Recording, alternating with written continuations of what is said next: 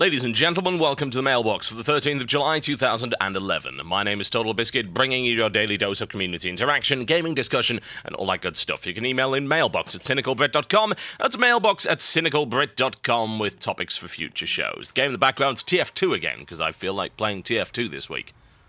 Why not? Let's play TF2. First email comes in from Fushu that says, In the past couple of weeks, I've been noticing a reoccurring event. People who play ranked team games like Hon and Dota using the ranked game client decided that their precious points are more important than having fun and using teamwork. People in Hon will kill steal to get more overall kill count, even if they don't really need the money and the XP in the game as much as other team members. Stealing the carry skills through last hits, for example, results in carry heroes being underfed and ultimately the entire team's loss. In Dota RGC, players place themselves in the team where the better players are. Results are one team that's full of newbies and the second team full of good players, whereas it's pretty obvious who will win. Players rather points over fun. They will choose the better team before the game starts and win it without much challenge. In ranked solo games, it doesn't bother me that much, but in team games, the whole team suffers because of one greedy bugger. Note that these are only two examples out of many. Have people sunk this low and their virtual greed for points has gotten this big that they cannot be trusted to balance the teams themselves and have to have it forced on them like in Hon? Why do people find it more fun to acquire points than playing the actual game in a fair, balanced, and challenging manner?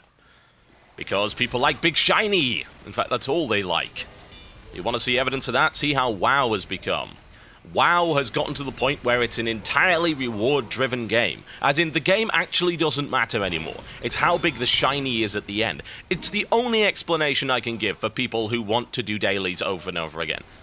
What other explanation is there? They're boring, they require no thought, they certainly don't have any challenge in them. They're repetitive, to the point where you have to do them every bloody day. But it's okay, because Big Shiny is somewhere in the distance. We're going to get our hands on Big Shiny. In this case, things like KD and points are the reason that keeps people playing. Can you explain 10th, 15th, 20th, 5000th prestige in the latest Call of Duty title or whatever? Why? It gives you this tiny little icon. That's it. You lose all your stuff. It's like, oh, I've got 15th prestige. I'm better than you. You've only got 13th prestige. Shut up, you are stupid. Whatever the case, achievements, I think, are a big, big part of this. Everyone's been after high score for ages, since the dawn of time in terms of video games, but achievement points have made this the most insipid nonsense ever. It's not about playing the game anymore, it's about doing things in a specifically contrived manner in order to get a badge. And to be honest, I was not into that after I stopped being 11 years old and left Boy Scouts. I mean, come on, really? Do we need merit badges for everything these days? The stupid thing about doing this in Hon is that it will actually make you lose, and that drags down your overall rating. And I have to wonder if people just have this bizarre, twisted, psychotic need to do these dumb things and then blame everyone else for their loss. I don't get it. I mean, League of Legends, Heroes of New Newerth, Dota have the worst communities for any game ever. In the history of ever. Ever. They are awful. You cannot imagine how bad they are. And it's mostly the way that the game mechanics are set up that they turn people into raving lunatics. But you can't blame the game mechanics for everything, especially when people are doing the exact opposite of what the game mechanics require you to do in order to win. Surely you wish to win. I'm going to take kills from the carry. Why would you do that? You, do you know what the carry is? You know what the carry is there for? The carry is there to carry your team in the late game, and in order for the carry to be effective, he must get good farm. He must get plenty of kills. Stop deliberately stealing his stuff. Don't steal his last hits, for God's sake. It's a good example, actually, of, a, say, if you're playing a support hero in League of Legends. Sona is a prime example. I've seen Sona players that repeatedly steal last hits in a dual lane. And it's like, you're stealing these hits from Master Yi, or Lane Warwick, or something along those lines, or Ashe, or just indeed any carry of any real description. Why do you need kills? You are Sona. Stop taking last hits from the other player. But it happens. It really, really does. And yeah, every now and again, sure, you'll snipe off a hero, because that's just the way of things. He might have got out of range, like, hey, I can hit my Q and I can kill him. Great. That's not stealing a kill. But when you deliberately go out of your way to do it, it's dumb as bricks. And I have to wonder, whose point's more important? Apparently, some people that play Heroes of Newerth and Dota believe that KD is more important than winning, and their PSR rating, and their actual ladder points. In which case, please uninstall the game. You are irrevocably stupid. This one comes in from Bismarck. It says, It's come to my attention that many gaming commentators are starting to accuse each other of just being in it for the money.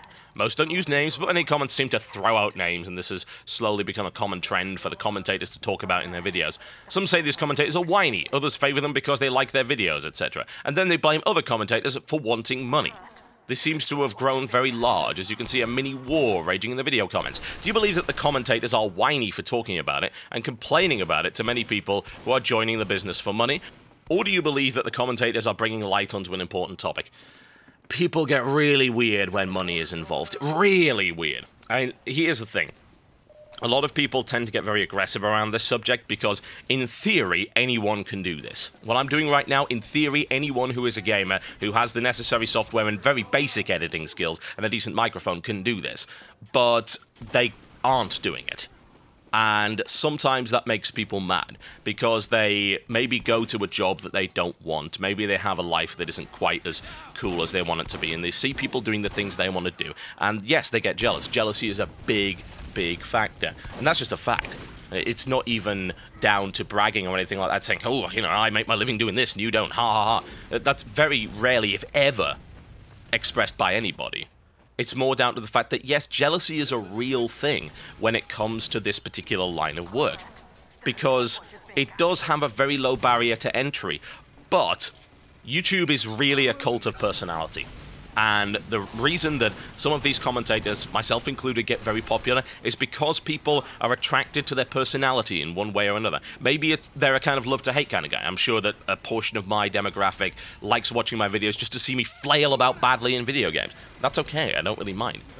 There are others that share their point of view, or there are others that just simply look up to them and respect them for whatever reason. And that's the only real good explanation around this you can see things on YouTube that are, say, better than one commentator and something on the channel. It's like, oh, you know, this obviously has a lot of work put into it, and yet it's got less views than this. Why is that? Well, this is just the, the whole world works this way. This is how the media works in general, and YouTube is no particular exception to that. I have a problem with people ever bringing money into it and saying, oh, well, you're just in this for the money. Because that's kind of dumb. That's like saying, oh, well, you just go to work for your money. Well, yes, you do.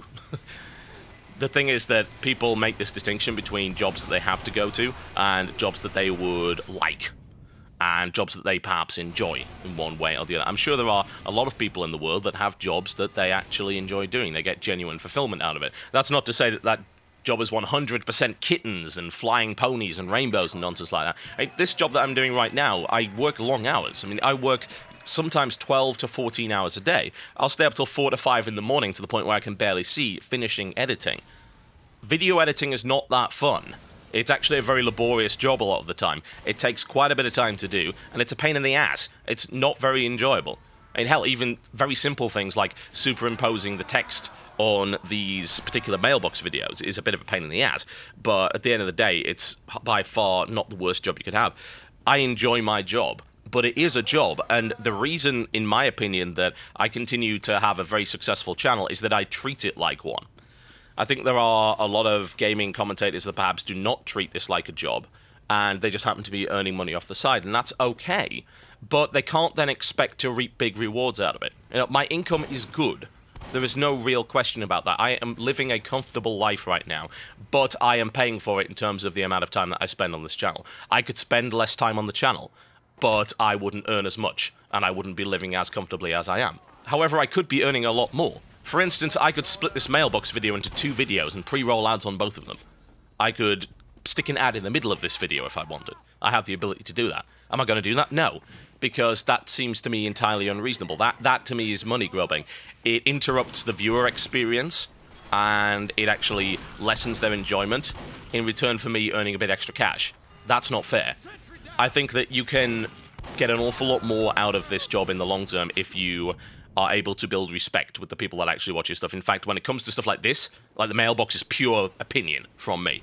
If you guys don't at least respect my opinion in some way, then you're not going to watch it. Now, you might disagree with me. That's fine. Everyone has their own opinion. There's nothing wrong with that. But to say that, say, I'm just in this for the money is nonsense. And indeed, to accuse any commentator of that, I think is nonsense because one way or the other, it is their job. Money is a factor. Money is always going to be a factor. But the nice thing about this job is that if you do it right, then everyone can win.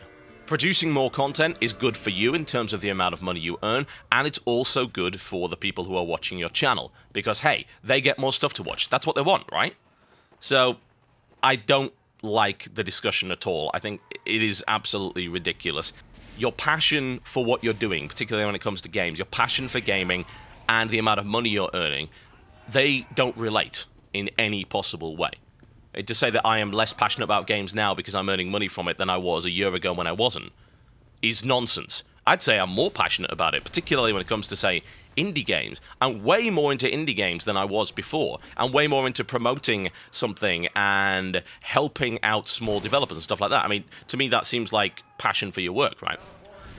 So it's a dumb debate. It really, really is. I don't think it's fair to say any gaming commentator is just in it for the money.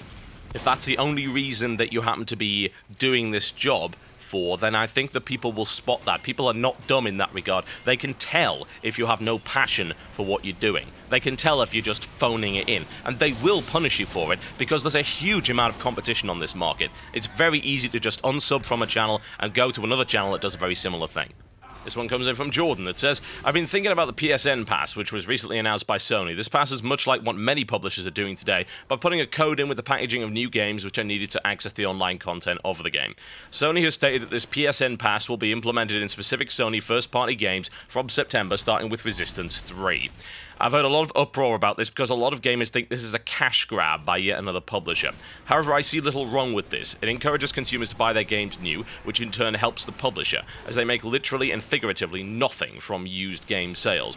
Even buying a used game, paying the price for the pass shouldn't be that huge of a deal anyways. It's probably only about 5 euros or 5 pounds, and most used games are half price or less after a few months. Seeing as PSN is free, I think it's fine that Sony is doing this. So I was wondering, what do you think about that PSN pass and similar schemes by publishers? In this case, I think it's totally fine.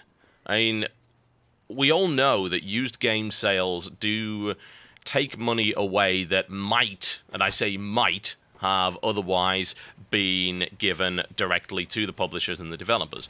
Now, of course, a big chunk of that goes to the retailers, the distributors, and things like that, but still, yes, money goes to the publisher and developer if you buy a new game, not if you buy a used game. And I might point out that a lot of companies, including GameStop in the US and Game in the UK, aggressively push used games to the point where they actually put used copies of the games on the shelf next to the new one and will actively ask you at the checkout, would you like to buy this used for cheaper? And more often than not, people will say, yeah, sure. At which point, you have just actively screwed a publisher and a developer out of a sale. Actively. You have gone out of your way to aggressively do that. You haven't done this passively by just leaving it on a shelf. Someone has come up with a new game and said, I want this game. And they've turned around and said, how about this one? It's just the same, only it's a little bit cheaper. And they turn around and say, yeah, sure. So that sale that was going to happen, 99.9% certain sale, has now suddenly disappeared. Those kind of tactics are the reason that publishers are having to resort to this. I might point out this is not the only thing. When it comes to PSN Pass, we're not only talking about lost sale, we're talking about additional costs accrued by someone that hasn't paid the cover charge. The cover charge being that you purchase the game. And if you purchase the game when it comes to PSN, you also purchase the ability to play that game online. And of course, there are additional services required to make that happen. More often than not, you'll have servers running, even if it's just for login. Paying, you are paying for the upkeep of PSN. That is why PSN is free. That's what pays for it. And if you buy nothing but used games, then you are using a service that you basically have not paid to help out with. And you're not expressly being asked to, which is a fair point. But you are costing Sony money. So why should Sony not try and recoup in this regard? It's not a cash grab at all. Not in any way, shape, or form is it a cash grab. It does not affect people that buy new games in any way, shape, or form. None. Not at all. So there you go. I'm okay with it. I'm totally fine with it. It seems reasonable to me. If I buy a used game, then should I really expect it to be of exactly the same quality? Physically, yes. Maybe it's got a scratch or two on the disc, but it still runs just like a normal one. But should I feel that I am entitled to, say, the online play of a game that I bought used? Probably not, no. I don't find that to be reasonable. I think it's okay to have this kind of inclusion. There are arguments in favor of used games. Don't get me wrong.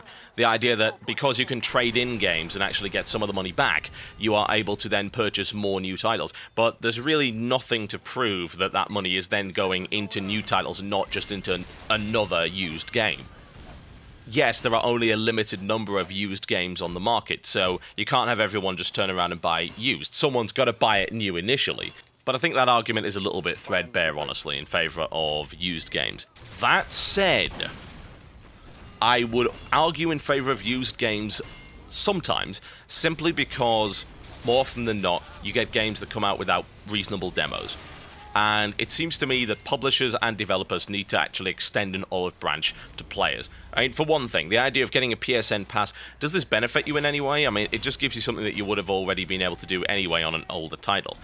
Why can't this PSN pass include something extra? You know, I think that incentivizing the purchase of new games is a good idea.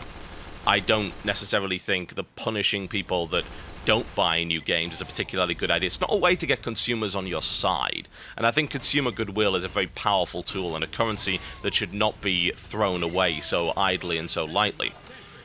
When it comes to games in general, publishers must understand that games are kind of expensive, and as a direct result, they should be doing everything they possibly can to make consumers believe that they are making a safe and sound purchase. That is, of course, by releasing demos and by releasing honest marketing materials, and of course, most importantly, by releasing good games with actual longevity. Not to mention as bug free as humanly possible, I might add. Releasing broken games is a horrible idea, and I think that's partly the reason why people buy used, because they're not willing to risk the full amount on a title like that. And yes, if you wait a couple of months, you can pick something up used significantly cheaper than the new version it is a little bit of give and take on both sides. I think that a lot more people would be willing to buy new games if they were sufficiently rewarded for doing so, and if they believed that the publishers and developers were actually going out of their way to produce a high quality product. And I think a lot of trust and indeed love has been lost between both sides over the past few years after various scandals and disappointing releases. Okay, folks, that's me done for the day. Thank you very much for watching the mailbox. Email in mailbox at cynicalbrit.com with topics for future shows. I'll see you next time.